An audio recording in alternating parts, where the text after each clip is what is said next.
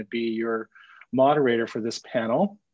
Uh, this um, panel is called uh, Oregon's Tribal History, uh, Racism, the Pandemic, and Our Future.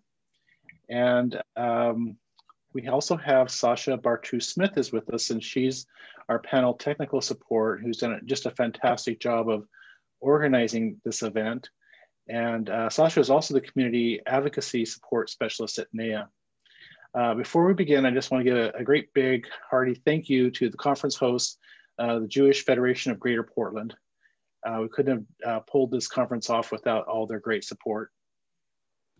So uh, we have a wonderful group of uh, panelists, which I'll introduce in a little bit. But before we get started, I wanted to let you know that you can submit questions through the conference um, the app Whova, and I do believe that you can also submit questions and comments through this, uh, the Zoom chat room. So um, I mentioned that we have uh, some wonderful tribal leaders on our panel, uh, three of them from the Portland community, all great friends uh, of mine and great friends of Indian country. Uh, we'll first hear from my good friend Danny Ledesma. Danny's tribal affiliation is Apache and Jicarilla and is currently the senior advisor on racial equity and social justice at Portland Public Schools. Danny has an amazing history of supporting communities of color and has been a great advocate for the Native community in the Portland area. Then we're going to hear from Jolene Joseph. Uh, Jolene is a tribal member of the, I hope I'm pronouncing this right, uh, Ani uh, mm-hmm. people of um, people and is the executive director of the Native Wellness Institute uh, with its mission of promoting the well-being of Native people through programs and trainings that embrace the teachings and traditions of our ancestors. For the past 35 years, she has traveled throughout North America, providing wellness and healing, training and technical assistance to tribes, uh, First Nations, Aboriginal organizations, and in a variety of areas such as youth development, leadership, healthy relationships, uh, wellness in the workplace, and much more. Finally, we'll hear from uh, Natalyn Begay. Is a citizen of the Diné Nation and works at the Native American Youth and Family Center as the Health Equity Program Manager. Uh, has been a, leader and protector of the Native community in the Portland area with the uh, COVID-19 pandemic. She has uh, guided approaches that to the pandemic that has, uh, in no doubt, uh, saved many lives. So um, we'll, hear, uh, we'll first hear from Danny. So why don't you take it away, Danny? Hi, Paul, uh, and thank you very much. I'm really honored and delighted to be able to be on this panel uh, with Paul and with Jolene and with Natalyn. Uh, I really uh, respect everyone that's on here, and I'm excited about the opportunity to talk about um, our tribal history as well as our tribal future uh, here in Oregon. Um, before I begin, I'd like to let folks know I'm going to focus a little bit more on education, um, but I'd like to talk a little bit about some of the history.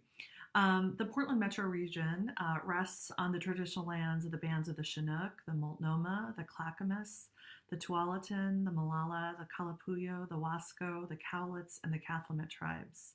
These tribes established their communities in a really resource rich area where they traded and fished along the rivers and harvested those natural resources that fed and maintained their families. And this is home. Upon European contact, our federal policy in the United States was to eliminate tribal people and much later to assimilate us in an attempt to erase the rich tribal traditions that sustain us. In the 1950s, under federal relocation policy, a large segment of the Native population in the US was forced to relocate to several major cities, of which Portland was one. This has added to the diversity of the tribal representation in the region. During the same era, under the Oregon Termination Act and the Klamath Termination Act, many of Oregon's tribes' governments were abolished and tribal lands taken away only to be partially reinstated over 20 years later. Yet many of those terminated tribes in Oregon still are not reinstated. The federal boarding school era, which I'll talk a little bit more about later, that went well into the 1960s attempted assimilation through removal of children from their families and punished who and those children were punished severely in order to quote kill the indian and save the man this was federal policy None of these policies could be challenged through the electoral process because Oregon restricted Native Americans from voting until the passage of the Voting Rights Act of 1965. Today, we know that Portland's Metro Native community is diverse and growing. The population is estimated to be nearly 80,000. Traditional data sources such as the census or the American Community Survey often undercount Native people for several reasons. Fear and mistrust of federal government is a primary reason many do not participate nor disclose their heritage in the census. Another difficulty is because of the history of genocide and assimilation, many Native community members identify as biracial or multiracial, and many institutions only take into account Native American alone when classifying the Native community. This is definitely true in the education institutions. While many community members strongly identify as Native, we know that there are community members who are disconnected and hesitate to identify as Native. The community discussion uh, groups that happen throughout our community are really a, a, a, continuing opportunity to discussions like today are a continuing opportunity to understand the history, but also to think about how we can think of a brighter future, a better future that is self-determined by our by our tribal community members. I want to talk a little bit about education. Um, as we talked about, Portland metro area was um, established with many vibrant traditional communities.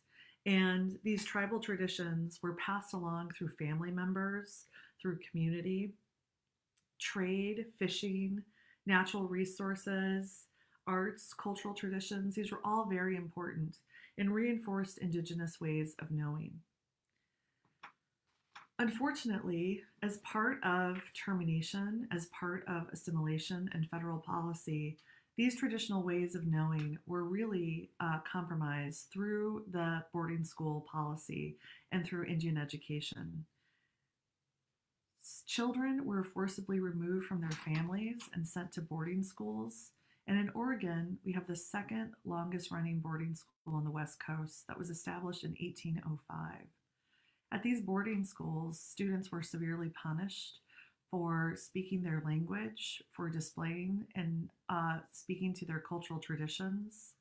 Not only were they severely punished, but their their hair were, was cut, their traditions were removed, and they were really forced to think about how they assimilate to quote what was American society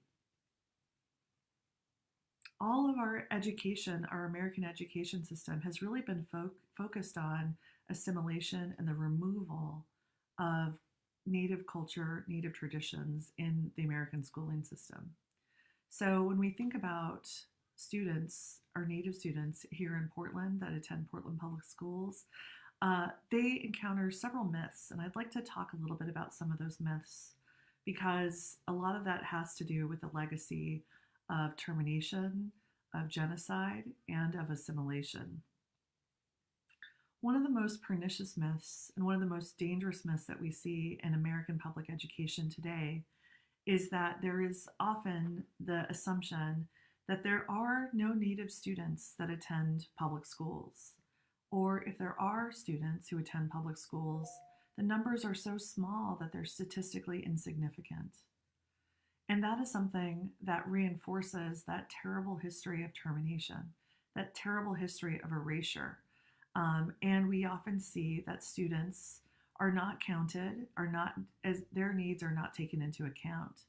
And so at Portland Public Schools, one of the things that we're really proud of is that our theory of action is based on centering our work for improving the school district on the lives of Native students, of naming the fact that because of this myth of invisibility, that it's important that we recognize that our Native students are here, um, that they're very diverse, that they draw upon the traditions of Oregon tribes as well as the diversity of tribes from all over the country.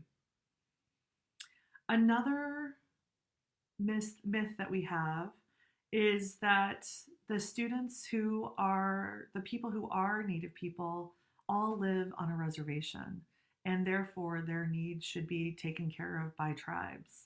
And that's not true. In Portland, we have one of the country's eighth largest urban Indian populations. And while it's true, we have a very thriving uh, tribal uh, tribal communities here. We have 12 federally recognized tribes here in Oregon, and many of our students' uh, families and elders live on a reservation. But many of our students also live in urban areas. And it's important that as a public institution, we're really aware of the importance of meeting the needs of those students. Another myth that is often used as a way to not meet the needs of students is to point to the responsibility of tribes. Uh, that tribes and that Native students have an automatic free scholarship to any college that they want. Um, and public institutions and policy has often used that as a way to not necessarily invest in Native communities and to um, and to, to to really sort of walk away from the responsibility of ensuring that there's multiple ways for students to be able to attend college or career that reinforce Indigenous ways of knowing, that reinforce uh, their abilities to live and thrive in their own communities. Um, a lot of times, a lot because of the cultural narratives, another myth that uh, students encounter in uh, the public school system and American education is that if an American if a if a native student doesn't look or act stereotypically, if they don't have long hair that are in braids, if they're not wearing regalia, they're not riding a horse, uh, that they somehow are not Indian, that they are not part of a tribal community. Um, and what one of the things that we have to recognize, especially here in Portland, is that our tribal communities are very diverse. This uh, panel alone is proof of the fact that we all come from very different uh, different tribes, different parts of the country, uh, and that diversity is incredibly rich, uh, each with unique cultural and tribal traditions. Um, and so we have to really honor and respect and understand that our Native students and their families are bringing that diversity. Uh, not only that, but we have to push away from those uh, those stereotypes of Native people. Uh, not allowing for the diversity is really is really um, is really damaging to to Native students, especially young people who are developing their identity, and we want to make sure that their cultural identity is is, is affirmed. Um, I think one of the most difficult myths that is happening in uh, in in public education now is that we live in pioneer country, and there's a romanticism of pioneers. Um, many students who are my age remember playing the Oregon Trail game, uh, where there were many damaging stereotypes and false narratives about tribal people and their interaction with uh, European and with uh, with quote pioneers. In fact, our tribal people were victims. Were uh, were sort of forced to uh, to relocate. Were um, were were attempted to be erased from our country.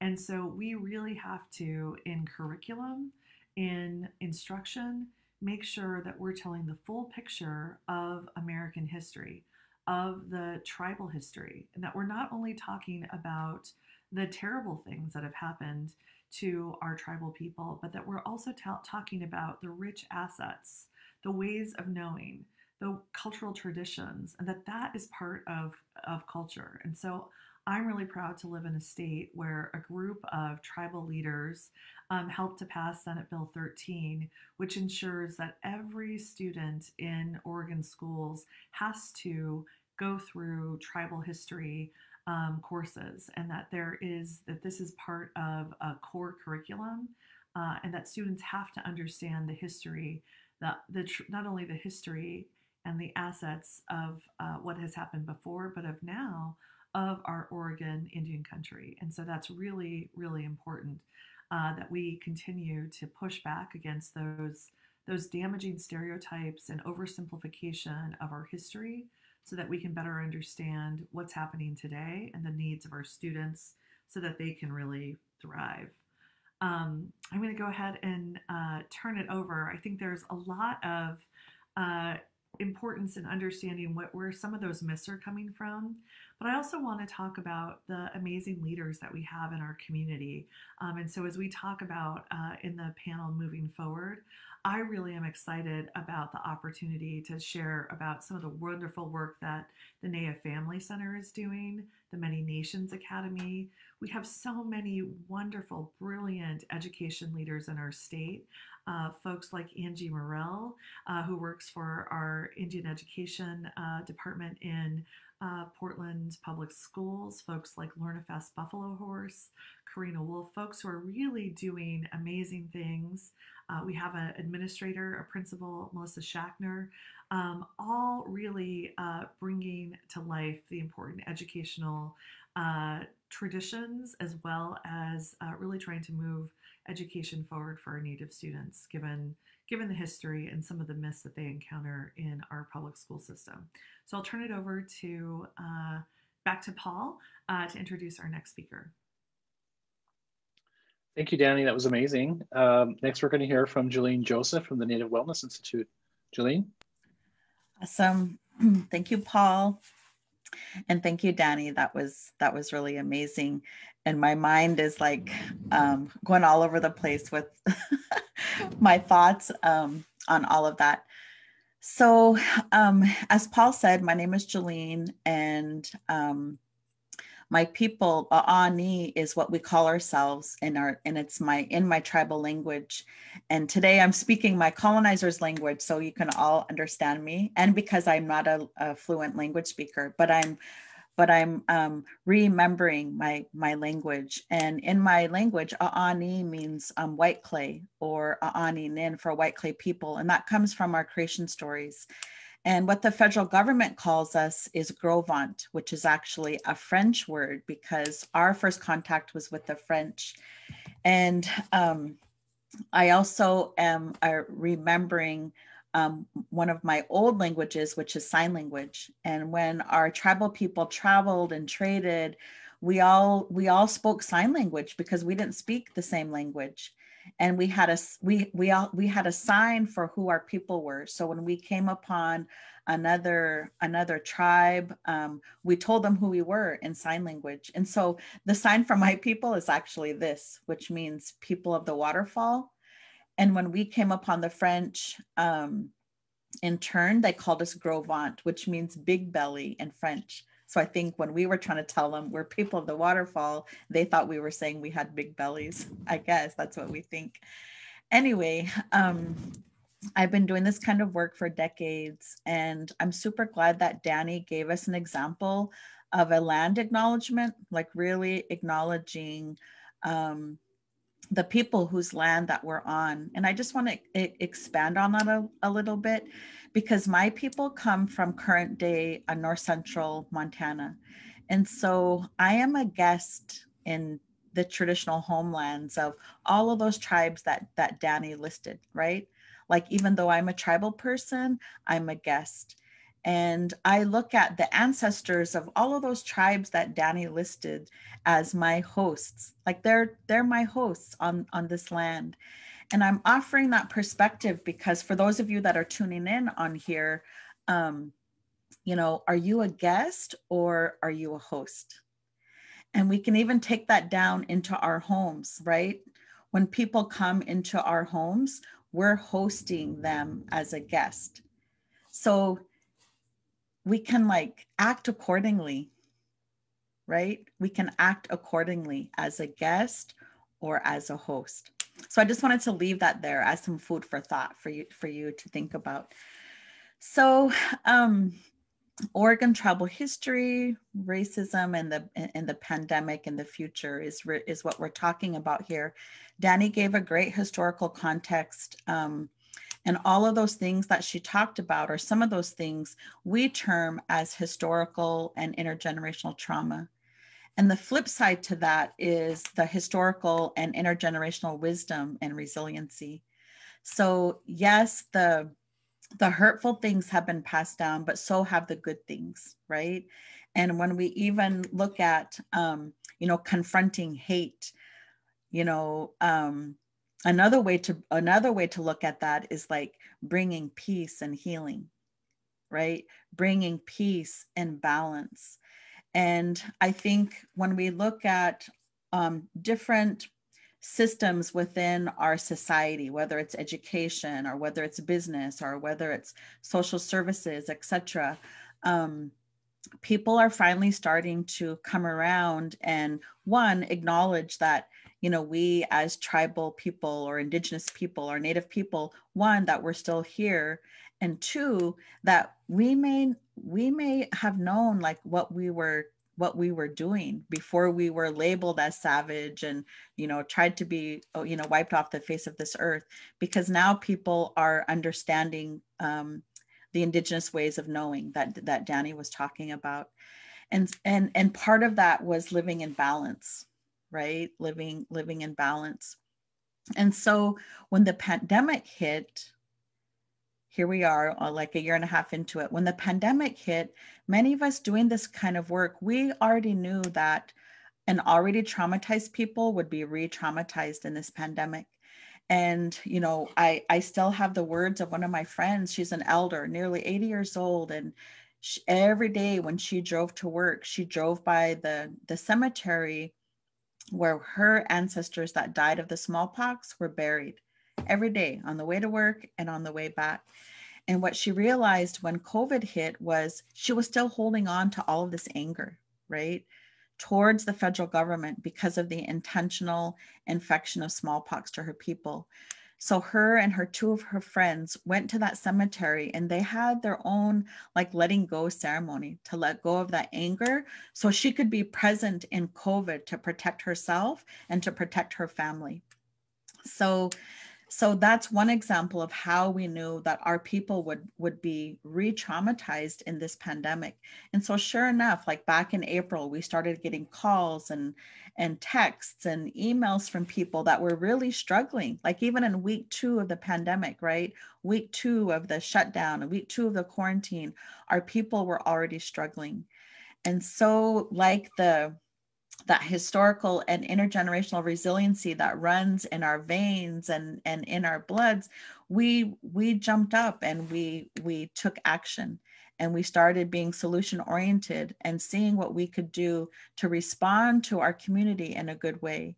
And so through our through our work with NAYA and NARA and other partners in the community we started doing so community support circles for young people for men, for women, for Two Spirit, for parents and, and families.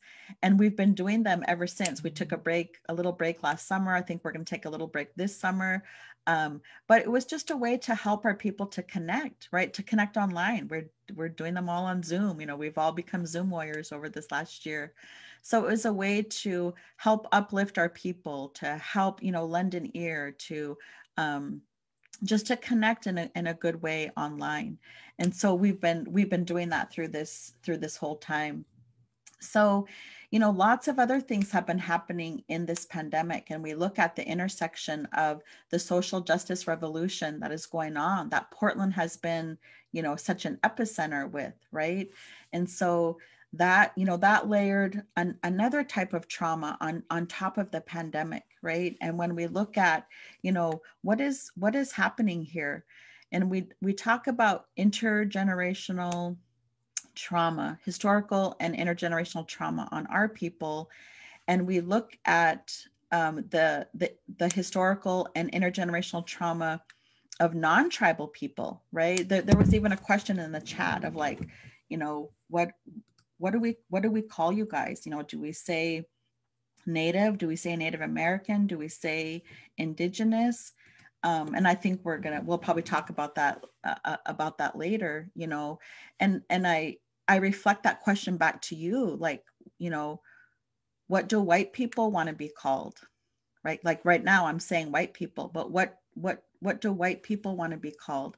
And i'm using that as an example because we can always you know we can always flip it around as we as we continue to be good human beings on this earth right? As we continue to try to bring that peace and that balance and that healing. So this country was founded on on racism. This country was founded in white supremacy and labeling other people as less than right? And white supremacy then contributed to oppression. That was that's what this country was founded on and then it was founded on on fear like we had to fear certain kind of people. So when we really go back in our histories you know um there's some healing there's some healing there to do right? And and the and the native community like we we know that and we're we're doing our healing work and we welcome other people from outside of our community to take a look at your pasts as well and what can you do to contribute to to the healing to help to help bring us together so, in the social justice um, revolution that's happening right now, you know, what can we do? You know, how can we get involved? Um, where where can we start? You know, and I always say like we can start we can start with our own selves. And there's this you know saying that people often use about you know the longest journey that we'll ever take is from here to here. You know, our heads to our hearts. But the other part of the journey, after we go from our head to our heart, we have to go back to our head. We have to journey back to our head and the way we think, right? Because the way that we think um, influences the way that we behave. It influences our our decisions. And so the I want to just share a few things about the balance piece. So we've had lots of loss in COVID, right? We've um, some people have lost their jobs. Some people have lost um, friendships. Some people have lost loved ones, right? That that loss of life. So there's this great sense of grief that our people are experiencing all across Indian country. COVID has hit Indian country hard. Um, and then we, you know, I'm not even talking about the health disparities and all that. And Natalie's going to talk a little bit more about that. But COVID has hit Indian country hard. We've had lots of loss. We look at our panel members and we can all talk about family and friends and family and friends of colleagues that have passed away from, from COVID. And in that, in that, what we have tried to do is still bring about that balance. So, for example, many of our tribal teachings around grief is that wherever you have sorrow, right, you're also going to have joy. Wherever you have sorrow, you are also going to have joy. I was just recently um, at a funeral, and I and I told some. It was actually my children. I told my children their father passed away, and I said, "We're going we're going into a sorrowful time right now. Sorrow is going to be everywhere." And our job is to also look for the joy because that's what helps to bring balance. And that's what helps us to get through difficult times and challenging times like this. So I leave this here in this panel as well because those are the tools. Like that's a cultural tool that we have that keeps us moving forward, right? And and some people will say, "Oh, resiliency is a colonizer's term," but we have it in our language we have these words in our language. And in my language, itsen atanihits means don't give up. That that is our our our comparison to the English word resiliency. Right? We have that in our in our in our DNA. Our our elders call that our blood memory, right? To never give up. This is why I, I'm sitting here on this panel today. I descend from miracle survivors of genocide I'm here as a descendant of miracle survivors of genocide because my people never gave up. Like that's why I'm still here. And I use that as a tool even in this pandemic. Like we are going to get through this and we are going to be okay. We're going to be more than okay because what this is going to do is it's going to continue to strengthen us as a people right? And we're going to continue to be that model for others. Like i'm grateful for the people that have chose to come and and listen in today right? One you're seeing contemporary native people that are still here that are still using our traditional value systems and our, our traditional tools and protocols to help us live and balance in this life that that we have today. So i also just want to leave with a with a quick story. My people are are Buffalo people. And um, way back when I was a teenager, before cell phones and all of that kind of stuff, um, we were preparing for one of our tribal gatherings, and we were we were um, harvesting two buffalo that we were gonna that we were gonna butcher and give to all of our all all of our guests that were coming because they were coming to our lands and we were going to host them. And so one of my uncles was on tribal council at the time and he was in charge of the hunt and he got to choose the hunters and all of this. Anyway, me and my sisters and my cousins, we were just going to watch. We weren't even a part of anything. And so we drove out there in our truck and there's the other hunters were in these two other trucks and the buffalo kept running all over and they were amongst this fence line and they needed like this third truck to come in to help the buffalo stay in one spot and so pretty soon they start going like this, like waving us along. And I was the driver. And I told my sisters and cousins, like, look, they, they want us to come and be this third truck and block in these buffalo. And they're like, how do you know they're saying that? anyway, so we we we went up there. So there was the fence, these two trucks, and we became the third truck right here. And the buffalo would run one way and we would all drive one way. Then the buffalo would turn around. It was like 50 in this herd the buffalo would turn around and I wouldn't have time to turn the truck around. So I would just put it in reverse and I would bomb backwards and then they would turn and go forward. So I kept going forward, backward, forward, backward. And all the while I'm getting closer and closer to the herd. And then finally this the big bull turned and started charging our truck. And I I didn't know what to do. Like I kind of like froze. And all, all I could think of to do was to honk the horn. So I honked the horn and the buffalo just went turned and like went right by our it felt like it was right by our door. And someone asked me later like why didn't you just drive away? And i was just like I, I didn't think of it in that moment.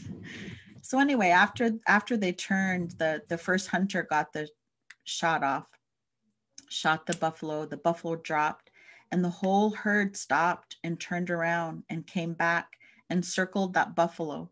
And with their horns they picked it back up and they circled it and they ran with it until that buffalo finally fell. And then, like, four buffalo came and just stood with that buffalo for like two minutes and then they left. So I share that story because, you know, what if we all did that for each other? What if when one of us went down, we all circled each other and lifted each other back up? Regardless of how we identified, right?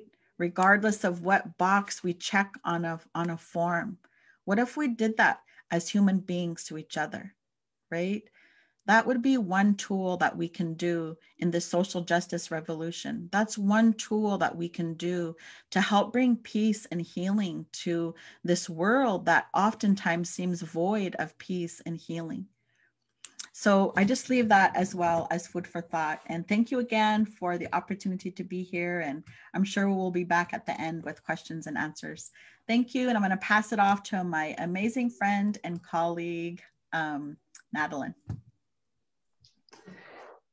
Good morning, everyone. Um, it's great to be here and a blessing to be with you all this morning. Uh, my name is Natalie Begay. I am a citizen of the Diné Nation. I, um, I always have to say I'm from the New Mexico side of the Diné Nation because um, we're, we're much, we're actually a little different from the Arizona side too. So um, again, I'm, uh, I work at uh, and uh, I'm the Health Equity Program Manager uh, at the organization and have been there for a little while. And um, and I'm actually uh, we were just talking a little bit before this um, panel started about um, our time here that we've been spending in Portland, and and I'm the newest member of uh, the Portland um, Urban Indian community. So uh, I'm coming today to just to tack on um, the end of uh, and Danny's presentation. Thank you so much, Jolene and, and Danny, for your wonderful words. Uh, you got me a little choked up in that, so I'm a hard follow to, to your presentation as um, or your words, and it wasn't um, very meaningful to me. So thank you so much for that. Uh, I wanted to talk a little bit today about um, some of the background um, of our work here in the community. Uh, I my background is actually in public health, um, and I came uh, into the work, um, and I, I, feel like it's um, a very a, a close ties to you know our traditional values as Native people. Um, I came into I actually started my um, I knew I was going to go to college. I just didn't know what I was going to do. Um, and getting into college, I wanted to be in the health field, but I wasn't quite sure of um, what. So I actually struggled in my first year of, of where uh, finding my grounding. Um, but eventually, I um, I reached out and I found uh, a program that was based in complementary and alternative medicine.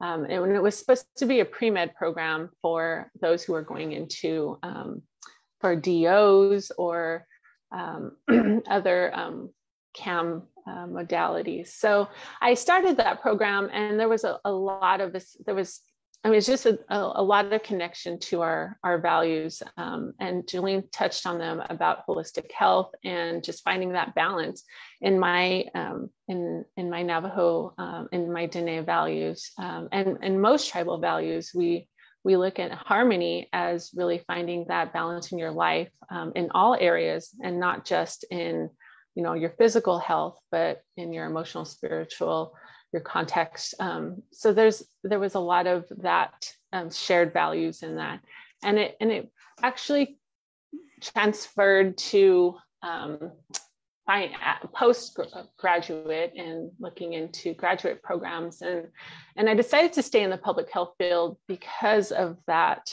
um, the community connection as I got more into the work of public health I was working in tribal programs and um, there was just a lot of connections to that. Um, and one of them being uh, putting your community first. And um, it's been, I, have been in the public health field for almost about 13 years. And um, I've done a lot of work in the tribal communities, not in the urban setting. And this is my first urban um, experience. And it's been, it's been amazing and um, a, a learning journey for me. And part of that uh, resiliency that Jolene was talking about, and most of the resiliency is coming from our community. Um, one of, you know, as Native people, we don't focus on the individual and and it's not about me it's about my community and putting community first. And our work that we have been doing um, in collaboration has been uh, it, it's thriving because of our partnerships and our, our focus on the community. Uh, Jolene mentioned that we do have um, that we have our the work of the pandemic has been um, focused on addressing and just taking care of our community during this time, lifting each other up.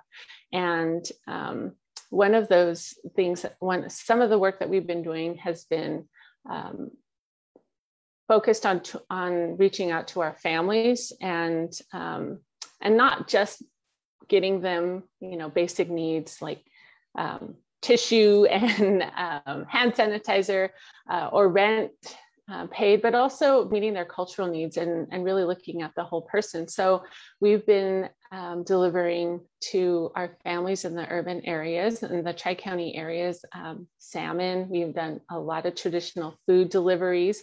We also have been um, sending out um, arts and crafts um, for the family cultural items um, and healing items. We've, we've done a lot of gathering, um, nettle and cottonwood, and really purposeful in meeting those holistic needs of our community during this time.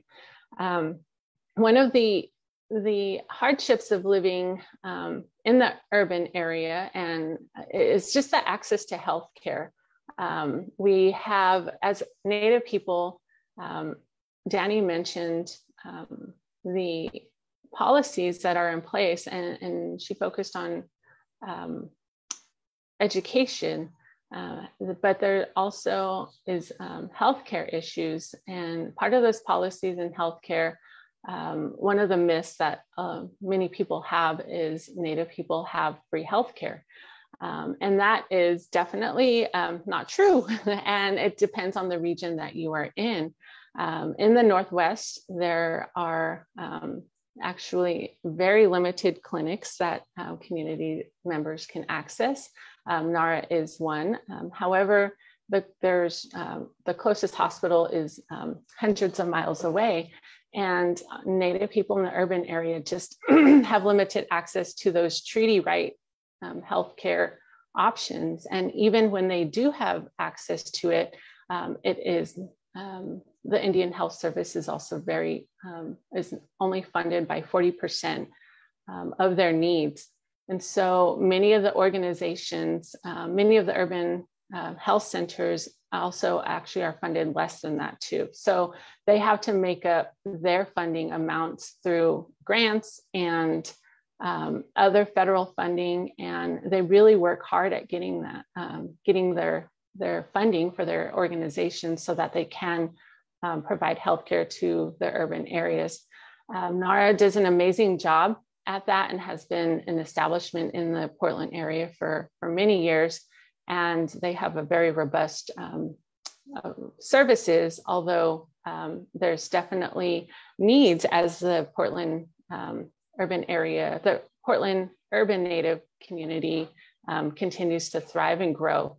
So um, part of our work here at, at NAYA in partnership with NWI and NARA and the county is really um, being that resource for those, um, those the, the urban Indian. There's a lot of growth and, and moving to the urban areas, um, primarily because, eh, because of opportunities um, back in our tribal communities, the, the jobs are limited, um, resources are limited. And so Native people um, sometimes we don't want to leave um, our communities, but sometimes for the, the sake of our families and, and the well-being of our families, we have to leave and come to urban areas and uh, to find jobs and resources that we need, including healthcare resources, um, because there's rural, most of the communities are um, a lot of the communities are in rural areas. And um, and again this goes back to tribal policy about um, placements. Um, you know some of we try and keep our language resilient to communities uh, versus reservations. Um, but because we try, even in our in those reservations we are trying to thrive and and we are thriving um, but they all are so um, sometimes inaccessible and areas that we um, so that some tribal communities cannot grow um, foods or really find that um, enterprise to thrive on. So um, again, and that leads to that population, the increased population for the, the urban areas. So I'm really honored to be part of that um, part of the team that collaborates to to meet the needs of our indigenous people here in in the community. Um, one of the questions and, and we're going to go into our q and a's and i'm really excited about it um, to answer some of the questions that are in the in the um, chat because oh, there's a lot there was a question about terms and, and Jolene had mentioned that but there are um, many of our community members here in, in the area are um, multiracial. We're, um, we identify strongly with our tribal roots and we actually love to be called our, our tribal our tribal names um, and are not our um, the names that were placed on. Uh, for instance, my my um, colonized name uh, for our tribal people is the Navajo people. Um, but Diné is actually a our our identifying term for ourselves. Um, so in our language, so it just means the people. And um, so there was some. So I think we can turn to a little bit of the Q and A's. But I just um, primarily wanted to highlight the um, just the really amazing partnerships that we have with all of the urban organizations in the Portland area um, Jillian uses a really great term about um, the opposite of, and please jump in, Jillian, if I butcher this, but the opposite of um, competition is collaboration. And that, and that is exactly what we're doing. So I, um, even in our work at, during the pandemic, you know, um, NAYA doesn't do the work, do the work, we do it in partnership with our, with the all the other organizations. And sometimes that's hard for folks to understand um, because they want to place us in in an organization box and say, well, NAYA is doing the work. And we have to continuously say, no, we are doing it as a collaborative effort with, um, you know, and, and then it turns out, well, who is in the collaboration? All of us. and, um, you know, sometimes we do have to say, identify um, Jolene and, and Native Wellness Institute and um, all of the other great partners that we have in the community, but we all work together to meet those needs. We are very resourceful and we're, we're here and um, we want to be seen and continue to, um, you know, take care of our community and let others know that, you know, we are continuing to thrive and, um, and we do that with, um, with each other and with the support of, of all those, not just on this panel, but all the amazing um, family and friends that we have in the community and you all as well too. So thank you so much for your time and I'm excited to go into this Q&A. Thank you, Nadeline, and thank you, panel members. Uh, we do have several questions. Before I get to them, I just wanted to explain a few of the acronyms. Uh, NAYA, N-A-Y-A, is the acronym we use for the Native American Youth and Family Center, which is where Nadeline and I work and the other one is NARA, N-A-R-A, which stands for the Native American Rehabilitation Association, who are also delivering fantastic benefits to the uh, Native community. Um, I'm going to go back to um, this is from a question uh, about it says, um, what's the correct terminology to use? Is it Native American, Native American community, uh, Indian, tribal, indigenous? And I think even though you touched on it, Jolene, I think it's important to bring up because you and I and Sasha uh, were on a campaign this past year uh, for the Winterhawks Hockey League to change their racist logo, and they finally are. And he asked the same question. And then afterwards, in a private conversation, just the two of us, he said they were so nervous about offending us with the terminology that they just avoided us. So, um, can one of you um, talk about this a little bit more because it's a it's a real it's a real interest and and I think there's real fear about offending us, and so people avoid us in order to avoid offending us.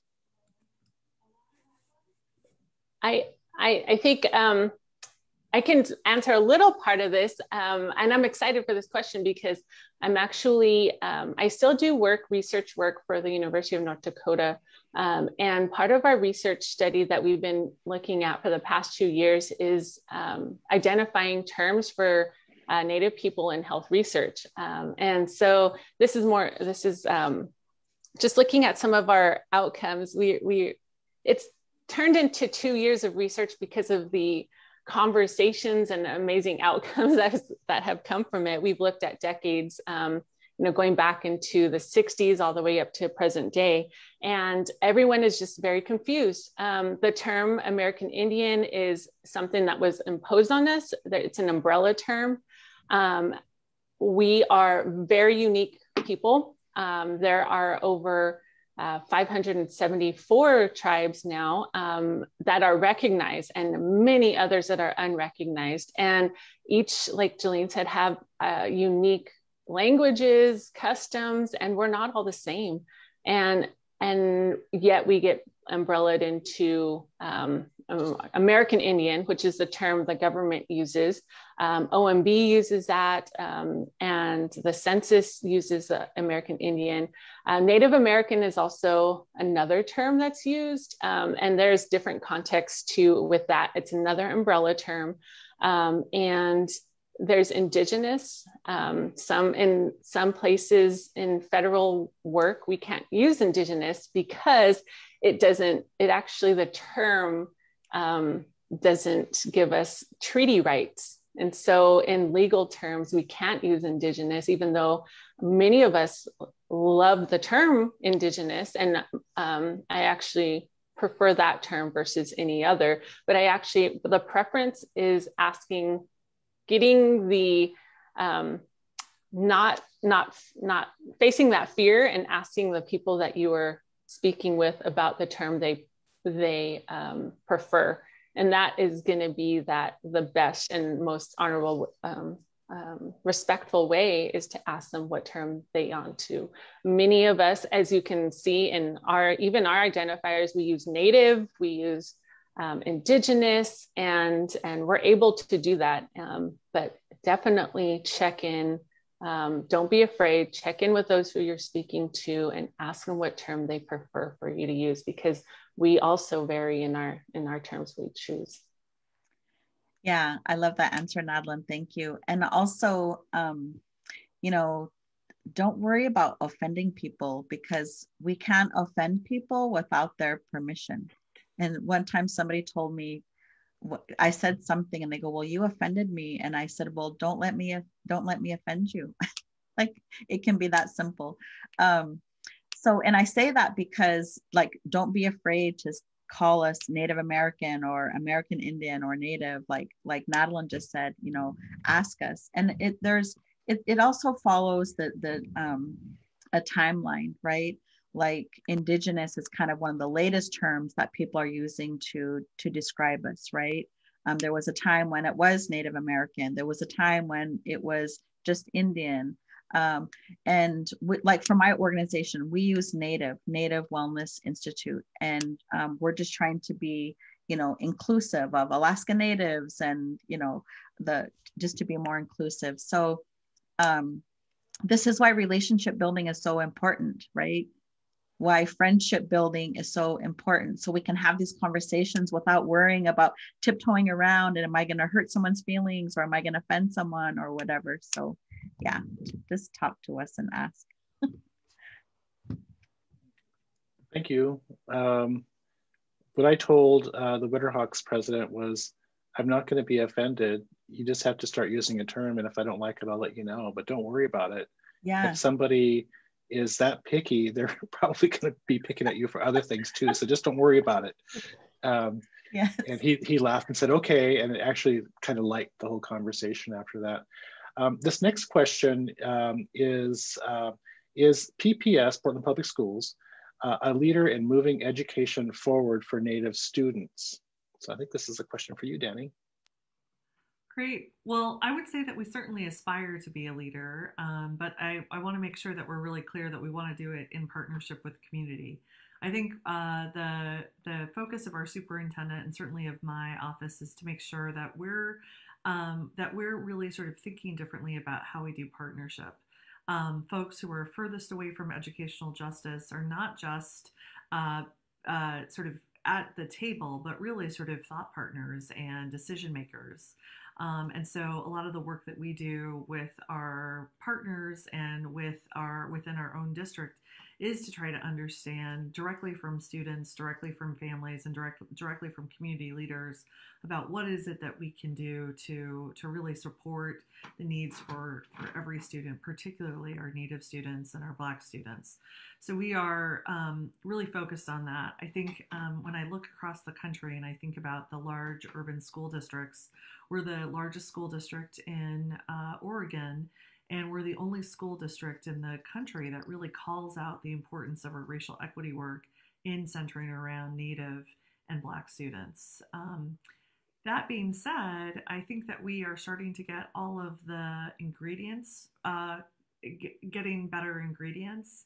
Um, I'm really proud of our partnership with NAYA Family Center. We partner with NAYA in a variety of ways. Um, as you know, NAYA has the Many Nations Academy, uh, where they have a school where students are uh, really just wrapped around with all the love and support, the cultural traditions, as well as uh, a very fine uh, academic education, right? That's really centered in Indigenous ways of knowing. Um, and the uh, graduation rates from the Many Nations Academy are are superior to any place in the state. Um, and so we really are proud of that partnership that we have there. Um, we also get to partner with NAYA uh, with their youth support activities. So we uh, partner with them to do positive cultural um, identity development for middle schoolers and for high school students.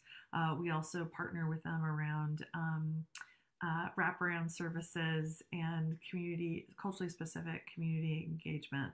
They're working with parents uh, to uh, really help navigate and really feel a sense of agency and empowerment in our school system.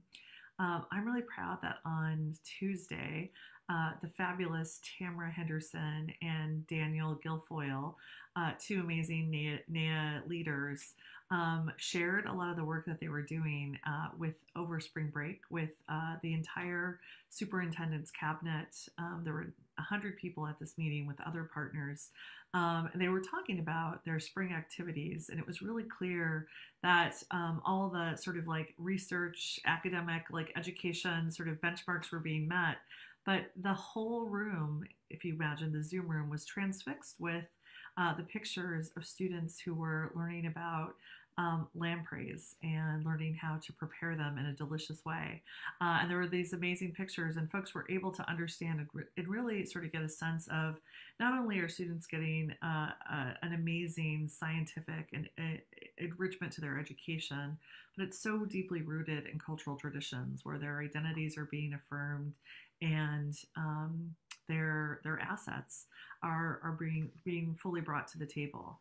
Um, and uh, I think about those students and their experience, whether it's at the uh, at the Many Nations Academy or at one of our, you know, over 100 schools at PPS, and I think about a student who has that sort of um, profound experience uh, done in learning and joy, where their assets are being celebrated, are going to be much better prepared to succeed than if we're not providing those. So I, I think we're getting the ingredients right, um, and I think that over over dedicated time, we're finding that at PPS, our strategies are working.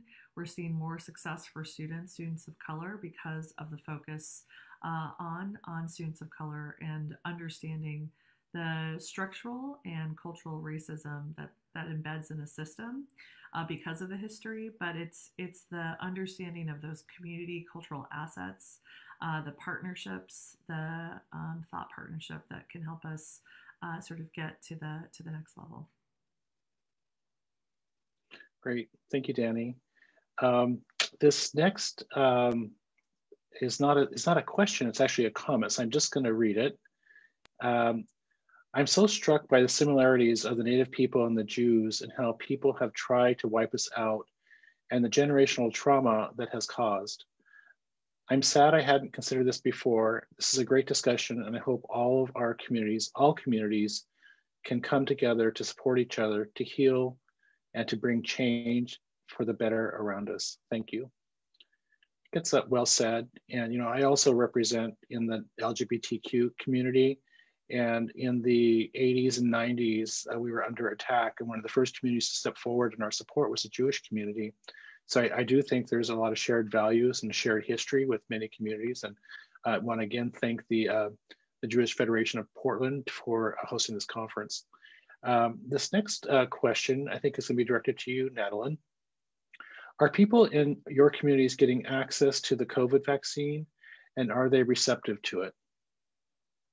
Yeah, um, thank you for the question. Um, it, it's a little, um, yes, they are actually, uh, I want to highlight just the amazing work that tribes do in their um, own communities. They were actually one of, um, because of the unique relationship we have with the federal government, um, they actually were given the vaccines first before the state distributed. And, and because of their work, they were able to vaccinate their tribal uh, people in their communities, um, one of the first in the state. So uh, much um, much applause to those tribes in, in Oregon and all over the US that were able to vaccinate. Um, and many of them have actually high rates of vaccinations.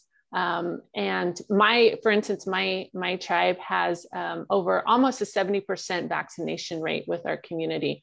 Um, here in the urban area. So we do have access um, in several ways uh, to the vaccination, and we have been very active um, in our collaboration with the Future Generations Collaborative, uh, work together to get our uh, Native community in uh, to be vaccinated. So we're really happy uh, that those that have uh, wanted the vaccine have been vaccinated. We have great partnerships with Multnomah County um, and the OHA, and so they've been really um, helpful in that. Um, but we also are hitting, um, just like everyone else, hitting a lull and really working hard to um, uh, to um, answer questions, address and, and help build the confidence in the vaccine right now. So our work has shifted a little from um, getting folks into vaccine clinics to really having meaningful discussions with them um, and meeting those cultural needs too. I think we have some upcoming, um, we have some different strategies um, to help build that confidence in the vaccine. And, and and our group is really um, looking at more of a cultural approach and um, smaller vaccine events and really uh, putting our um, efforts into those meaningful conversations. Yeah, and if I can well, just thank you. Uh, I oh. just want to point out that we have uh, less than one minute left. uh, do you want to say something quickly, Julie, and then we'll have to close?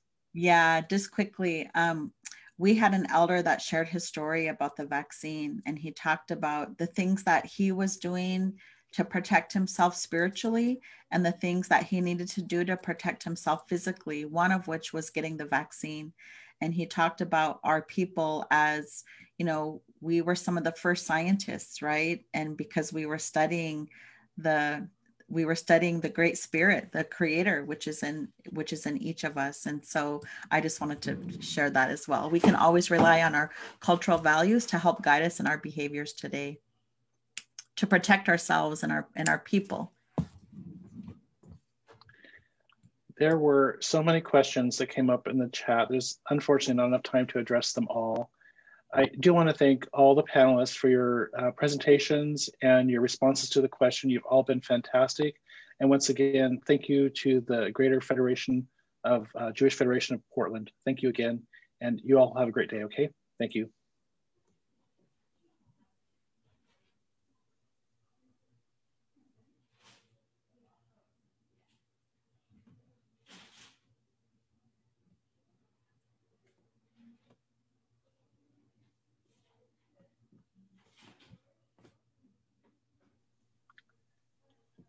Okay, I think we're done. Thank you again, panel. I'm going to go ahead and log out. I will coordinate with Sasha on some of these other questions and see if we can get a response back. One of them was directed to you, Jolene, so we'll forward that to you. Okay, awesome. Thanks okay. again for the invite. Okay. Have a great day, everyone. Uh -huh. Thank you. Okay. We'll see you. Bye-bye. Bye, Danny. Nice to meet you.